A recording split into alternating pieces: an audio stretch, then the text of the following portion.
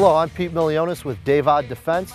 We're going to do a little drill called the El Presidente. It's a total of 12 rounds with two rounds on each of the three targets, a reload, then two rounds on each of the three targets. It's a little modified version here. We call this the Vice Presidente, but uh, it's an offshoot of the El Presidente.